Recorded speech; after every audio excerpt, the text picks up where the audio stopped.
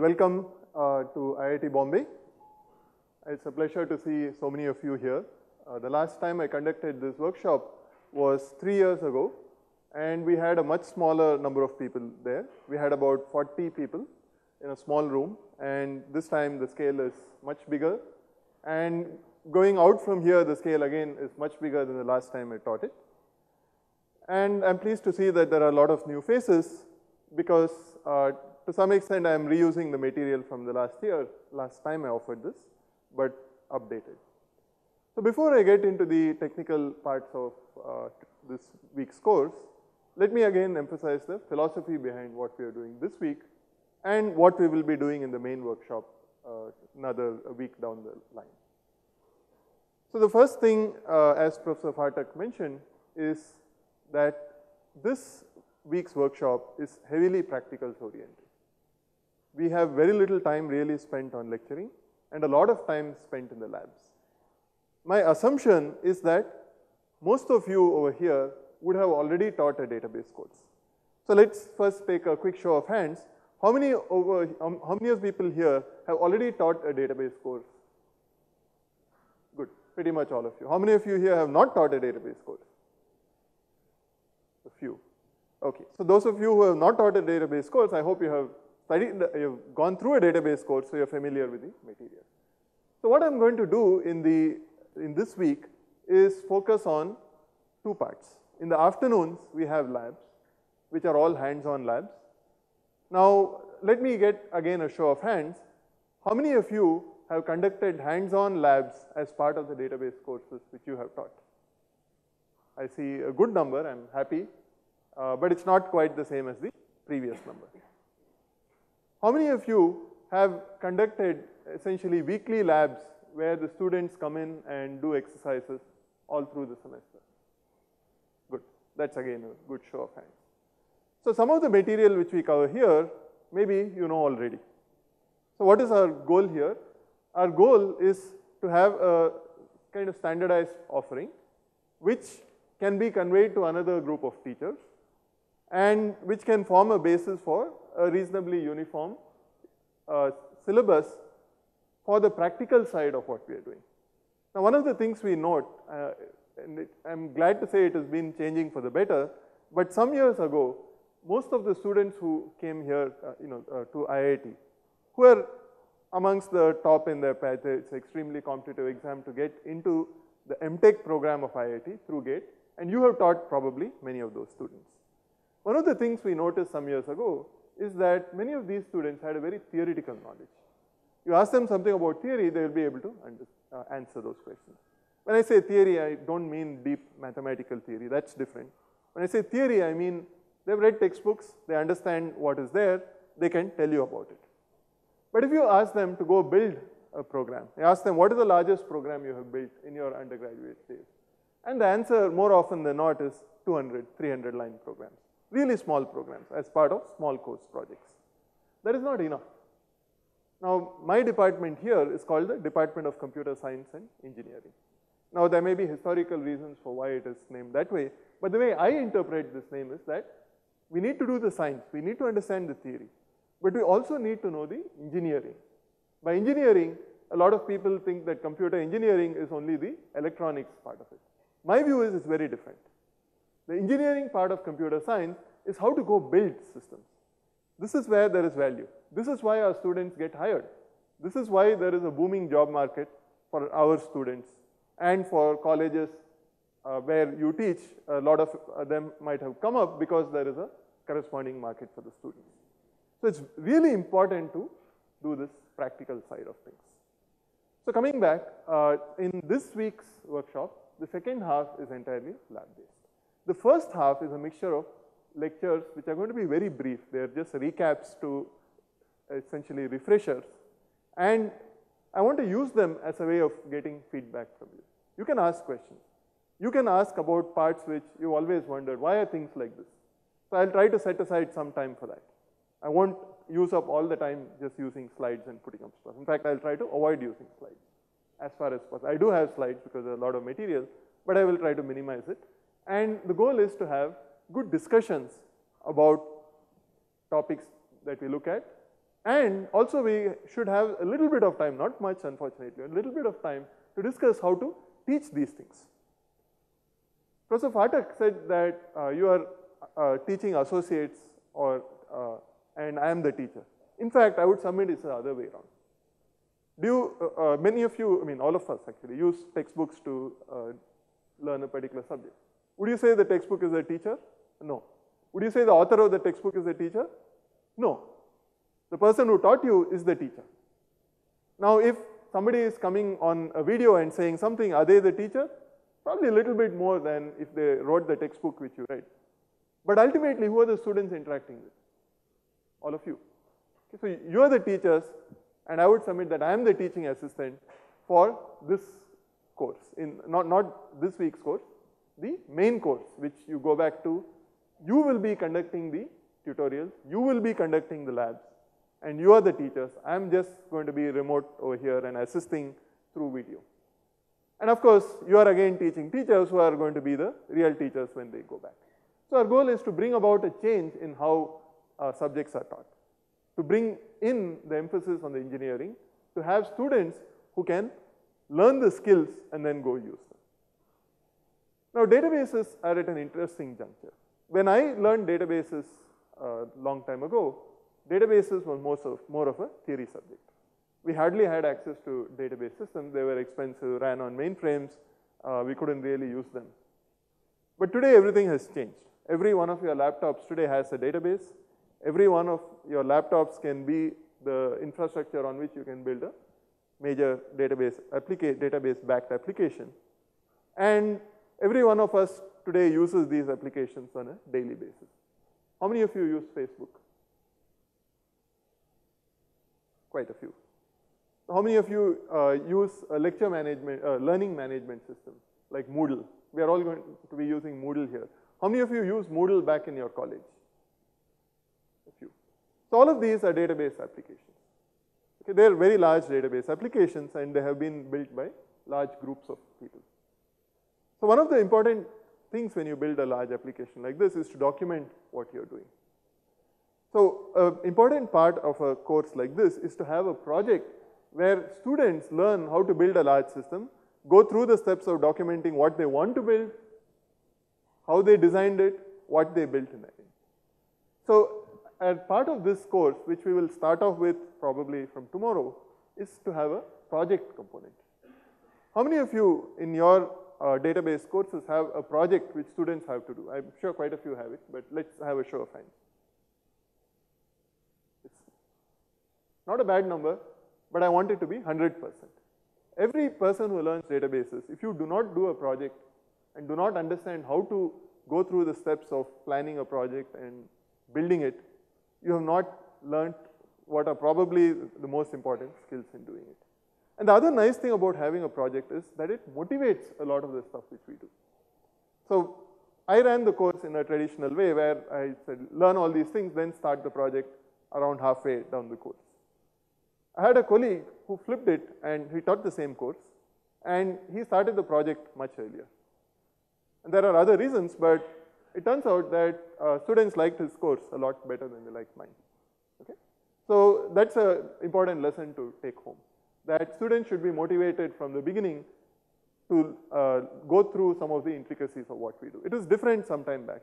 Today's students know that information is available at their fingertips. They can go to YouTube, watch something. They can, uh, if they have a textbook, they can go to the website, get the slides and read them they don't even have to read the textbook in many cases. So what is it that we add here as faculty? And this is a problem that students realize that all this information is there and they don't necessarily pay attention to the lectures that we offer. And many of us have gone through a situation where, you know, sometimes we make attendance compulsory. Some of us do that. Others don't. They say, come if you want to. Come to learn. Don't come because I'm taking attendance and you must be present you students are no longer uh, small kids, you should know what you're doing. And guess what happens? A lot of students don't come. And guess what happened in IIT? Are we uh, bad teachers? Maybe. I, won't claim that I'm the greatest teacher. There are amazing teachers out there. But this is a phenomenon which has happened in many places across the world. All of you have heard of massive open online courses, MOOCs. How many of you have heard of them? Okay. Many of you haven't. For those of you who haven't heard of them, these are courses which are offered to hundreds, tens to hundreds of thousands of students across the world completely online.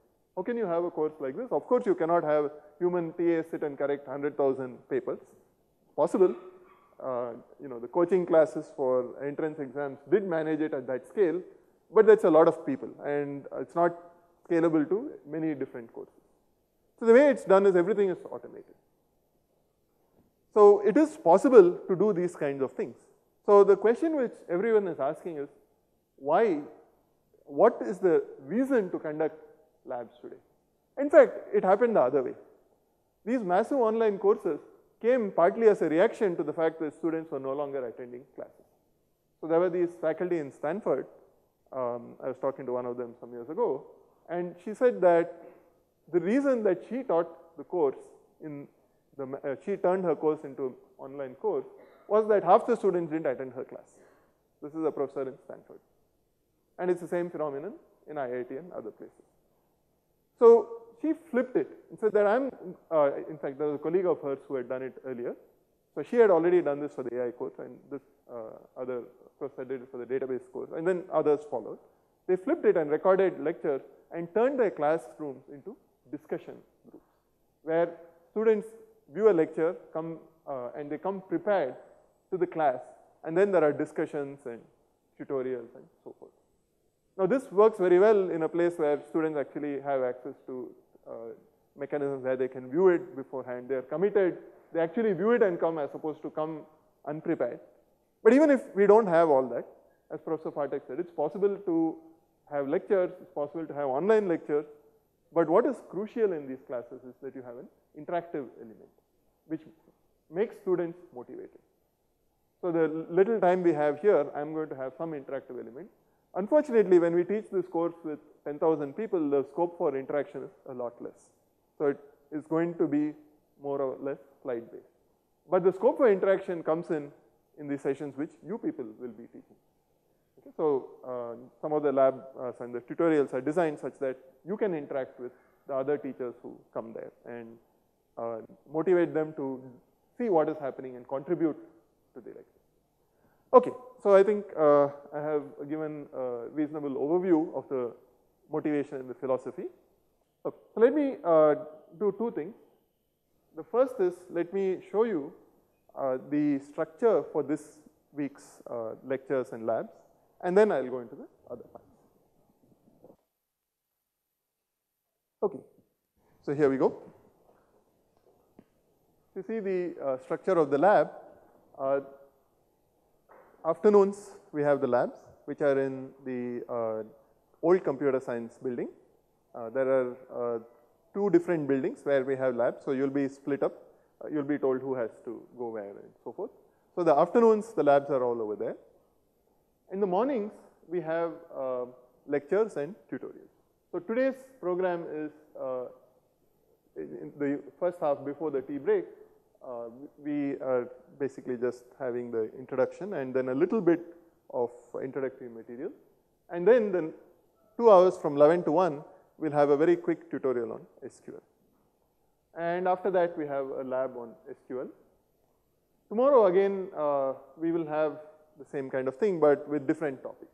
We will have uh, ER design and then a tutorial on ER design over here in the morning, and then a lab continuing on SQL in the afternoon. Day after, we will continue on to uh, database design and normalization, and again, a tutorial on normalization here, followed by labs which is JDBC. Now, how many of you have uh, covered application development using Java in your courses? So, uh, my assumption is rest of you have covered SQL. Students have learned SQL, but not built application. Now, I know in some universities there is a separate course which covers uh, application development. Um, so, maybe somebody else taught the course, but here it is a single course which covers uh, in fact, our course is called Database and Information Systems.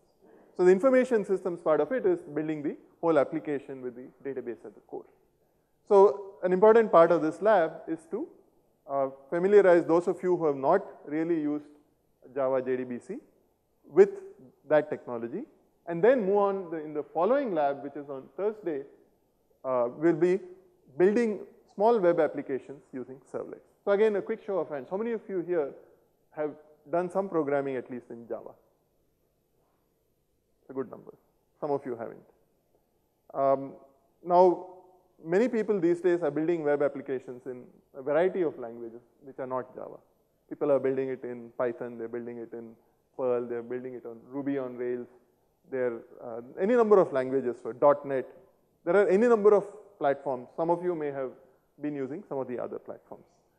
In this course, we are standardizing on Java, partly because it's a more mature technology. It's a little bit more work to build small applications, but it actually has a lot of benefits for building large applications. Uh, in some of the scripting languages, you can build small things easily. After that, you have to be very careful. Java protects you from a lot of mistakes. So uh, we are going to stick to Java in this and then an introduction to building web applications. Now the project which I told you about, the goal is to build an entire application. It has to have a back end, a front end. So the front end we will be using is Java servlets and web, which is what pretty much everybody uses these days. However, there is one other front end which many of us use these days. Uh, I'm sure many people here already use smartphones. How many of you have an Android or iPhone or any equivalent phone, a BlackBerry or Nokia smartphone? Quite a few. So we interact with a lot of information systems today, not just using web front ends, but using these apps which are running on these phones. So I'm, I, in, in, when I teach the course here, I leave it open to my students to say that, look, you can build a web front end if you want, or if you want to learn something new, go build an Android app. Has to be database backed because this is a database information systems course. I'm not asking you to go build a game or something. It could be a game as long as there is some data management aspect at the back end of it. So that is another good option which students get motivated by.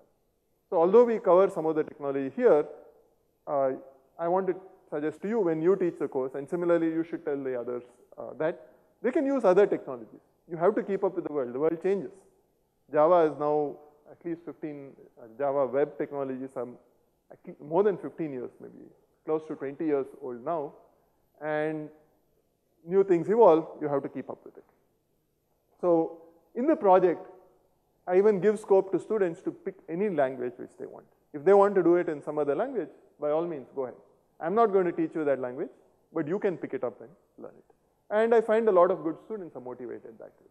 In fact, this helps me indirectly, or in fact even directly, because they go learn about new technology. There are a lot of new technologies out there. I don't have time to look at each of them. So these students go build something and then they come back and show it to me. And they teach me. Okay, so I uh, teach servlets in the course, but I first learned about servlets from my students. When servlets were really new, they had just come out. I was teaching a course and one of my students found out about servlets, one group, built an app and came in, uh, web app and came and showed it to me. And that's when I learned about it. So any new technology which comes up, you're likely to learn about it from your students. So anyway, uh, the lab on that day is on servlets. And the last day's labs are internals. Now again, uh, a while ago, most courses in the country did not cover database internals. Today, quite a few do. So again, a show of hands. How many of you over here teach some amount of database internals, meaning concurrency control, query processing, uh, recovery, and so on in your course. Please raise your hands if you do. That's a good number. But again, maybe 50%. So sometimes these have been taught in two separate courses. We had also done it here. We used to have two courses and teach the externals in one and the internals in the other. But the science grows, there are new topics, data mining didn't exist as a course some years ago, it is a course now and so you have to make space for all of these. Today we fold both of these into one course and most many universities have been doing this also. So the goal is that when you come out, you do not you may take another elective on internals. In fact, I do offer a separate elective which goes deep into the internals of databases. But the first course does cover some amount of internals. Now why does this matter? Because if you unleash programmers out there who don't have any idea what goes on inside of a database, they tend to do very bad things without knowing that they're doing bad things. They build applications that are unsafe, security problems. They build applications that run very slowly and they have no idea why that happens. They build applications where if there's a power failure, something goes terribly wrong and then the database, when it starts up, things go wrong. People are not able to do stuff correctly because they don't know how to do these things. And you need to understand the internals to appreciate this and to use it when you build your application. So we make it a point to cover internals these days. And I have two labs on internals. The first lab, which is on Friday morning, it says internals lab, but it's on indexing and query plans to understand what is going on behind the scenes. This is very important for efficiency. Most people build small applications, then they launch it and then things go haywire because they did not understand what happens when you have thousands of users and millions of records or even larger. And the second part, which is Friday afternoon, is on transactions and concurrency. So again, these have been treated more as uh, you know theory where you just read up something on it, but they're actually small lab exercises which you can do to understand what is going on. So that is the last lab in this course. So that's a quick summary of uh, this week's plan. When I do the main uh, course, it's going to be a little bit different. There, the mornings are all going to be theory with some tutorials which you will conduct, but mostly lectures. The afternoons are primarily labs and tutorials, which you will be conducting. So, our role here at IITB during those two weeks in the afternoons will be to have people here who can answer questions. And maybe some of the days we will have an extra lecture at the end, which uh, maybe covers common questions and helps answer common things, which maybe uh, you know not everybody has the resources to answer. But the bulk of it will be done by you. There's one other thing which I want to do. So, so far all of these are traditional things. They are focusing on things which you will go teach your students for sure, that they're all part of standard syllabus today. But things evolve, new topics come in. So I made some space in this workshop to have new topics. A lot of people who come here in the past workshop said, hey, I came to IIT to learn something new. You're teaching me how to teach, uh, maybe, but I already know that and I'm getting bored. Unfortunately, we don't have a lot of time to do a lot of new stuff, but we have set aside some time. Um, all of you have heard the term big data, I'm sure. You can't read a newspaper or uh, you know, maybe even watch TV and miss that term. But how many of you here are familiar with some of the technologies behind? How many of you know about Hadoop? Few of you. So for the rest of you and maybe for some of you who raised your hands also, on two of the evenings after 5, 5.30 to 7 is the evening slot. On two of the evenings, I have a, one is a lecture and the other is a lab on Hadoop and a few other associated technologies, uh, which I think should become part of any database course going forward from here. Um, it's not there in detail. There, there's a little bit of it in my textbook, for example, now in the current edition, but things have evolved and this is something which we need to cover a little bit more of because more and more people are using this. It's not yet as important as the other material for the run-of-the-mill student, but there are many people who are using these technologies today. So we will be covering that in the evenings. The other evenings, if you see, it says lab practice. And the idea is that there are a lot of assignments and stuff here, and the lab time is short, so you get extra time to sit down and try things out with people around that you can discuss it with. People around meaning others who are sitting here.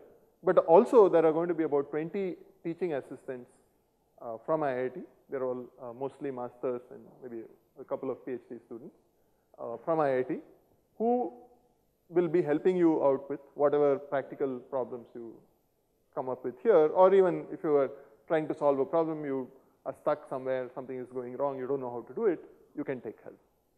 So uh, they will be around both in the afternoon labs and in the evening practice hours. So that's a facility which you should make use of if you need it anytime. Good. Any questions? Uh, my question is, uh, so dear, today we are going to, this, this week we are going to talk about PGSQL. First, I'm belong to Anna University of Chennai. Yeah. So most of our syllabus is based on Oracle or such kind of uh, pay type of versions. Okay. I don't think that uh, after getting some input from this particular uh, sessions, whatever lab sessions, if we are utilizing it as in this lab in the proper manner, I hope so I can introduce that open source type of technologies. Mm -hmm. So that is the main objective of myself to come over here. That too, I'm very happy to be in front of you because since last few years we are following your books, for example, database management. So my question is, if you're giving some uh, input in the form of lab session, it would be very useful to us. Even though we are familiar or we are not familiar with the SQL technology, such kind of things. Mm -hmm. But we just treat we as a beginners to this particular new type of technologies. We are expecting that things from you. Thanks. I think that's a good point. Uh, in this uh, uh, in this workshop, we are using open source technologies exclusively. And for many applications, this is the right thing to do. Okay, however, uh, universities often have uh, you know, Oracle as part of their syllabus.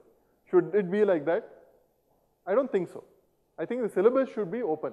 Why should we favor Oracle over, let's say, uh, Microsoft, over uh, IBM, over something else? However, the job market does demand people who know specific technologies. So there may be a motivation for some of you to continue using Oracle because that's what uh, you know, students are expected to know when they graduate. So that's not a decision that we make. Our goal is to focus on the uh, basic technical aspects and expose you to tools which are members of a particular class of tools. Uh, and if you learn using PostgreSQL today, going to Oracle tomorrow should not be a big deal. But if your university insists you should do it in Oracle, you can, you can use Oracle. It's not going to be impossible. Uh, if you don't know Oracle, you can pick it up. There are differences. Um, and uh, you know, we don't want to recommend any one particular thing. But the market might demand it and then you follow the market. That's up to you. Yeah. Any other questions? Okay. So uh, before the break, well, yeah. Uh, I, am just commenting more on this course. I just mentioned that you uh, indicated Oracle or such named products are there in a university syllabus. First of all, university, any university in the world has no business specifically talking about a particular commercial technology to be part of the syllabus. It's grossly wrong. And before somebody goes to High Court with a petition, get your university to change that. You may use Oracle. You may use Oracle in actual labs. Absolutely no problem. You can use any database. That is my first point. The second point is the level at which the first course in databases is taught. Okay. You can use the same Java, you can use the same JDBC calls, and you can use Oracle with at most 1% or 2% of changes in the code to make that application run. So get this out of your mind first of all, that my course is Oracle based and this course is this based. Nothing. It, this, this is the biggest nonsense that we perpetuate in our mind. And it does not matter. I am guaranteeing you it does not matter. So whatever technology is, SQL is still same. That is the reason why there is an international standard on SQL. And even the mighty Oracle is required to follow that. It doesn't. That's well, a different story. It doesn't. But as far as our first course is concerned, it is more than adequate. That's the point. If you actually want to build million lines of code-based systems with a specific technology, of course, your students will have to com be completely familiar with those technologies. But that's a later part. We are still talking about the core course. So as core course is concerned, rest assured that whatever you learn here will be directly usable in your Oracle. But we appreciate your point that, you know, our goal partly is to uh, propagate the open source technologies because you can use them legally without having steep fees associated with it. And also that in some cases where the university says Oracle or DB2 or Microsoft SQL Server, there is no harm. The same knowledge can still be used. Uh, would you like them to, I'm just thinking loud, uh, since the teachers who will come uh, they will be building a course project after the workshop is completed. I don't know whether you're familiar with that or not. When the actual teachers come, 10,000 teachers, they will make themselves into small teams and they will be then building an application for two weeks after the closure of that workshop and submitting that, which is a part of the certification requirement. Now, as an incentive, Professor Sudarshan suggested this yesterday that those teams which then submit those uh, uh, team assignments to you, uh, suppose we judge those team assignments. So there are 50 students at, uh, 50 teachers at each college, each center. It will be approximately 12 teams like that. There will be 12 team submissions after two weeks of the main workshop. Would it be worthwhile to consider finding out the best submission at each remote center and recognizing that? So we are of the opinion that we would like to provide some kind of a, uh cash incentive award for the team which uh, puts in the best submission of the course after the two weeks. And, but this will have to be coordinated by you because you will be the, as he said, in fact, thank you very much for giving me the right perspective. You are the teachers and he will be the TA at the main course. I, I fully appreciate that. That means your responsibility is far greater. You, you don't have to be look-alike like Sudarshan. You have to be Sudarshan and he has to look like you. Interesting. Okay. Yeah, I think we can uh, have a short break.